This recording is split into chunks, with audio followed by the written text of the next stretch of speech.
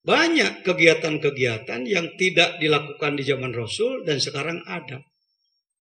Jangan cepat dihukumi bahwa itu semua adalah bid'ah, dolalah, binar. Ya. Kalau sudah bid'ah, maka langsung menjadi dolalah, sesat, dan langsung pinar. Bagi dulu, ada sesuatu yang tidak ada zaman Rasul sekarang ada dan itu baik? Atau menjadi alat kebaikan? Ada yang tidak dilakukan di zaman Rasul, dan itu menjadi kerusakan di dalam beragama. Itulah dibagi dua, bid'ah hasanah dan bid'ah dolal. Saya pakai batik aja insya Allah bid'ah. Rasulullah pakai batik mana dulu? Pakai mobil aja udah bid'ah. Oh itu urusan duniawi pak. Oh, jadi kalau urusan duniawi bebas tuh kan, udah mulai mulai turun semangatnya. Ini urusan ibadah, mana yang mana yang disebutkan? Yang muncul hari ini mohon maaf kebanyakan saling tuding, saling salahkan menurut pendapatnya masing-masing. Saling tuding, saling salahkan menurut pendapatnya masing-masing. Saya tambahkan tuh pemikirannya Mbah Hasim Mujadi. Beda pendapat apa beda pendapatan? Yang jadi urusan sering-sering bukan beda pendapat, jadi beda pendapat. Ya, insya Allah. Insya Allah. Begini aja.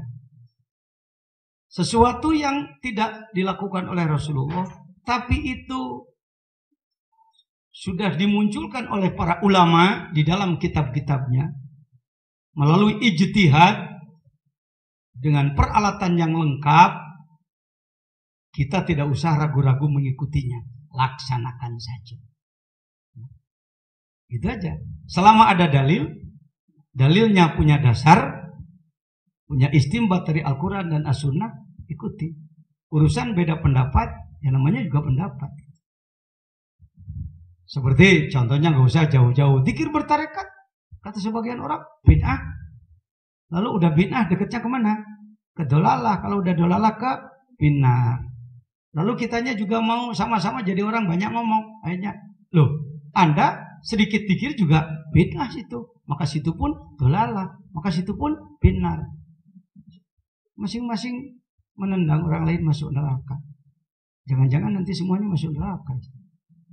Jangan, jangan begitu. Baik, lagi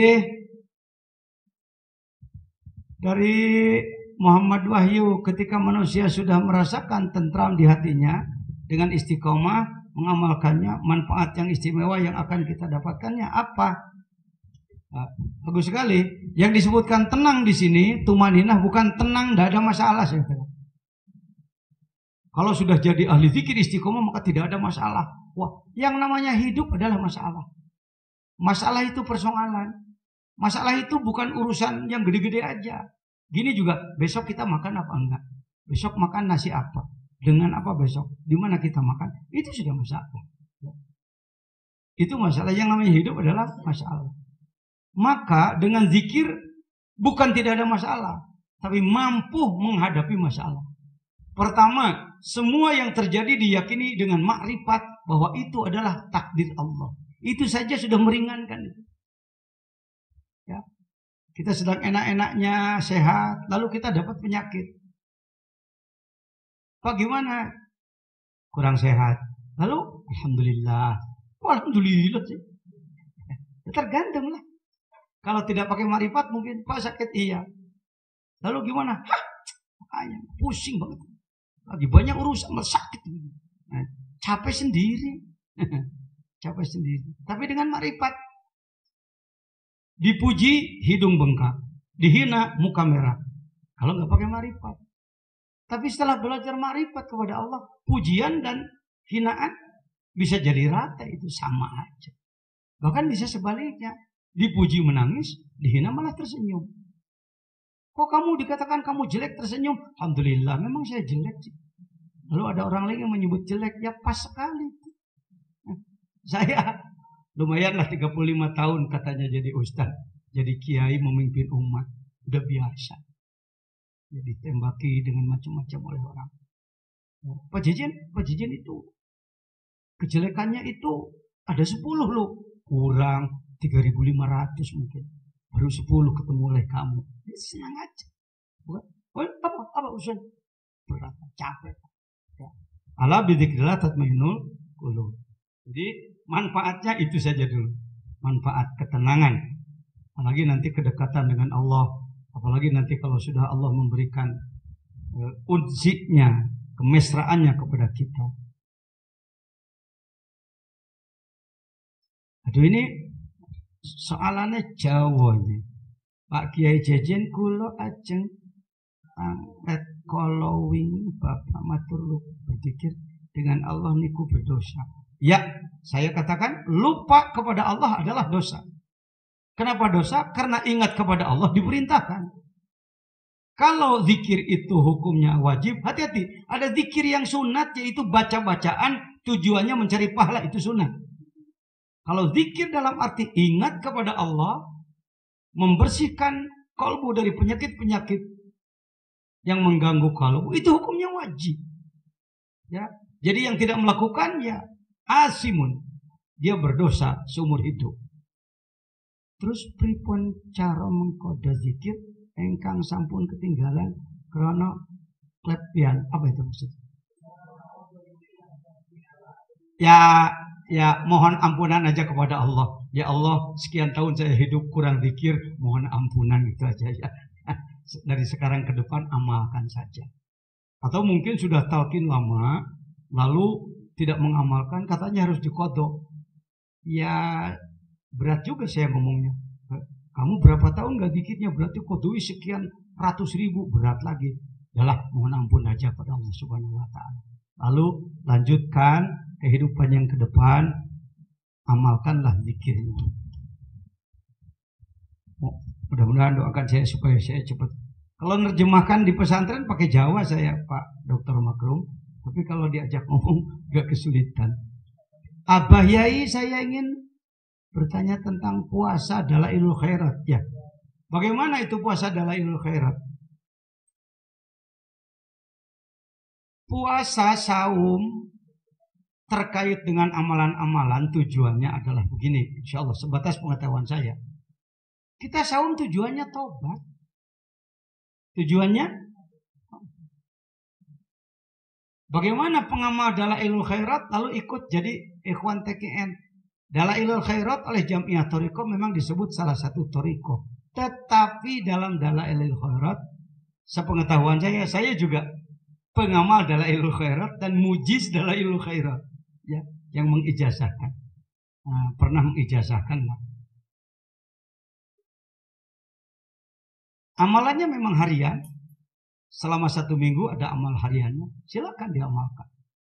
Apakah tidak berbenturan dengan terekat yang kita amal? Tidak berbenturan. Tidak berbenturan. Dan sepengetahuan saya, guru dalam ilul khairat memang tidak terlalu jelas silsilahnya sampai Rasulullah. Nah, apakah itu ada dari Rasulnya?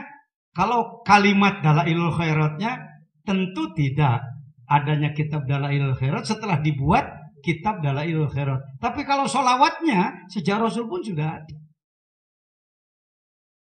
Apakah masih boleh tambah lagi pertanyaan? Kita membuat solawat boleh pak. Saya kalau pinta dipinta bikin solawat insya Allah bisa pak. Pak Jajan minta solawat makan ya udah. Allahumma sholli ala sayyidina Muhammadin. Apa itu tuyassiru bihi ukli biha ukli dengan solawat itu, dengan rahmatmu kepada Nabi Muhammad, engkau lancarkan makan saya. Jadi solawat makan. solawat tidur, solawat, solawat itu ke mana aja mau bawanya. Berani. Ya. Tetapi kalau bertanya solawat yang paling, insya Allah menurut saya, nggak terlihat, nggak terlihat permintaan-permintaan, ya solawat Ibrahim. Pantas dipakai sholat. Salawat doa dikir kita Allahumma sholli ya Allah limpahkanlah rahmat kepada Nabi Muhammad. Yang mana? Salatan tunji nabihi min jamil wali wal afat. Masih ada keinginan. Boleh, boleh. Apa? Ya.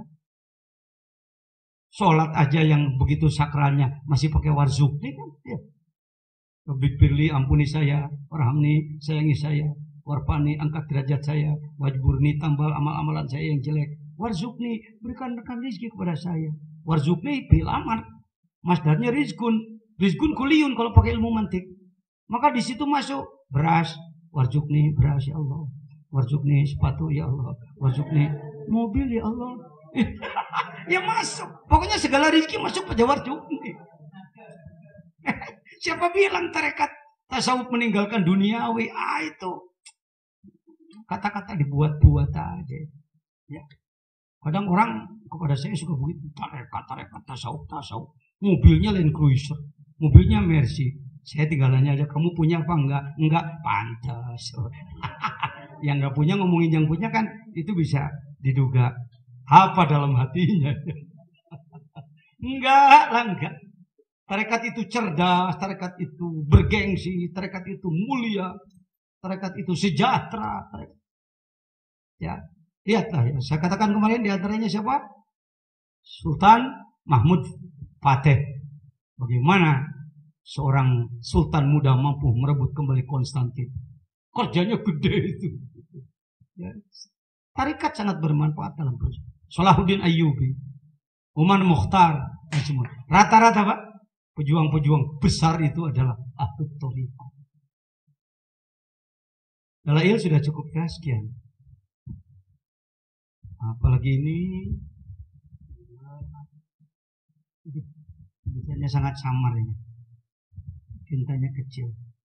Bagaimana cara ampuh untuk melawan hawa nafsu atau hal yang kurang tidak baik? Ya, amalkan zikir yang bertoriko. Saya menyebutnya tidak zikir toriko, tapi zikir yang bertoriko. Sebab ada zikir yang tidak bertoriko, supaya mudah. Yang mana yang bagus, semua bagus. Yang tidak bertoriko, bagus. Yang bertoriko, ya boleh disebut lebih bagus lah. lah. Adil saya. Bagaimana kiat-kiat supaya zikir kita dapat istiqomah selamanya mungkin ya dan dapat ber bermakrifat selamanya Ya, baik. Saya ingin jelaskan sedikit kalimat istiqomah. Bayangan masyarakat umum bahwa istiqomah itu orang dari tidak baik jadi orang baik, langsung baik, tidak pernah surut lagi. Mohon maaf. Kalau yang membahas istiqomah bahasanya begitu, kira-kira bukan orang lapangan. Orang buku, orang meja. Kalau orang lapangan, yang disebutkan istiqomah itu begini. Ya seperti main apa tadi saya sebut, main rebutan. Naik, turun lagi, naik lagi, turun lagi, naik lagi. Itu. Udah ada niat kita ingin ingin dawam sholat fardu awal waktu berjamaah. Eh, bolong lagi, kejar lagi, bolong lagi. Sholat malam, bolong lagi, kejar lagi, bolong lagi, kejar lagi. Itulah yang disebutkan dalam Al-Hikam min alamatil itimadi alal ama nuksonur rojai inda wujudi zalal. Yang namanya kelas kita kelas zalal. Ahlinya kepleset ya.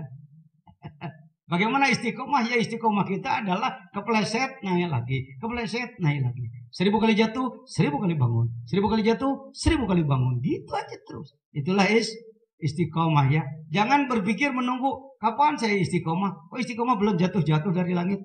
Memangnya buah durian jatuhan. Bukan ya? Paham ya saya kira? Jadi kita kira-kira sudah ada unsur istiqomahnya belum? Nah, nah, dari kemarin selalu saya tes dengan pertanyaan-pertanyaan yang sekian puluh ratus tahun bahkan ngawang-ngawang terus. Kalau dengar istilah tasawuf, Dr. Makrum, orang kebanyakan seakan-akan, wah itu bukan kelas kami. Saya tanya kemarin kan, Apakah saudara-saudara sudah takholi? Jawabnya? Waktu kemarin saya tanya? Karena yang menganggapnya takholi orang lepas dari semua dosa. Padahal takholi mengurangi dosa-dosa. Enggak semua dosa kita lakukan. Enggak. Banyak yang kita lakukan, tapi lebih banyak yang belum kita lakukan insya Allah. Itu takholi. Apakah sudah tahli? Sudah. Menambah-nambah kebaikan. Sudah tajalli. Itu pakai taplak meja kemarin saya contohkan. Mata melihat makhluk, kolbu menembus kepada Allah. Itu tajalli. Jadi bukan tajalli itu terbuka langit. Lalu kelihatan dari di surga sana. Wah itu tajalli kasyaf. Aduh. Bikin orang putus asa gitu-gitu. Tajalli itu gini aja gitu. Kita melihat apa nih? Melihat tembok. Tembok ini ada apanya di dalam? Ada semennya. Semen dari apa? Dari batu. Batu dari mana? Dari tanah. Tanah dari mana? Minuri Muhammad. Maka mata melihat tembok. Kalbu ingat kepada Allah. Itu tajalli. Bisa?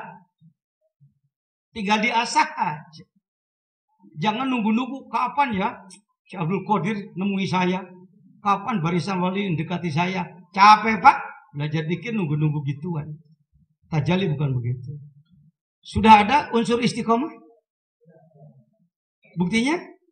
Ya kita malas berupaya lagi. Malas berupaya lagi. Itu apa itu? Istiqomah. Alhamdulillah. Eh, duluan istiqomah, duluan karomat. Orang berpikir istiqomah dulu, baru karomat. Itu bukan orang lapangan insya Allah. Kalau praktisi, Pak, penyelam akan mengatakan, belum istiqomah juga karomat mudah pada datang. Sebab karomat itu jebakan sebenarnya. Karomah itu ranjau itu. Bukan kehebatan itu.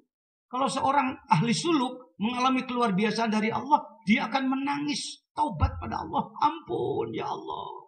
Jangan sampai saya terjebak. Fal matlubu amamak yang kau cari di depanmu bukan itu yang dicari. Itu belum ilahi anta maksudi. Ya. Jadi mendekati Allah Allah berikan karomah karomah karomah. Ya. Insya Allah. Jadi jangan mencari karomah yang kau cari adalah istiqomah. Sebenarnya karomah sudah sering apa? Datang padahal belum istiqomah. Baik. Apalagi mohon mengucapkan lafaz la ilaha illallah dengan rinci atau sempurna lagi karena saya sedang belum begitu paham. Baik, eh, kemarin sudah saya sampaikan talkinnya. Salah satu metode di dunia apa itu yang disebutkan qadiriyah yaitu menggunakan kalimat la ilaha illallah dengan latar belakang pemahaman bahwa yang disebutkan kolbu bukan daging hati, kolbu bukan jantung, Kolbu adalah dimensi abstrak wilayah batin dalam diri manusia. Maka inilah gudang-gudang sifat manusia. Dalam kitabnya Qatrul Goyeth, Syekh Nawawi Al-Jawi Al-Bantani. Guru besar, imam besar Masjidil Haram, asal Jawa. Ah, dulu selagi yang berkibar ahli sunnah wa jamaah, ulama Jawi Indonesia ini banyak menjadi tokoh di Masjidil Haram. Sekarang Paling jadi tukang bersihin karpet aja. Oh, ini harus dibangun kembali dokter. Insya Allah kita akan bangkit kembali. Ya, iya. Kalau soal ilmu nggak seberapa lah. Saya dengar khotib-khotib di sana nggak seberapa. Udah keukur ngajinya lah. Mungkin lebih tinggi kita sebenarnya kalau soal ilmu. Cuman sayangnya kita nggak nggak pegang power aja. Kurang duit ya lemahnya di situ. Persoalannya di situ gitu. Tenang tenang. Mudah-mudahan. Dengan ngomong begini Allah sangat mendengar. Nah, ini anak kecil-kecil punya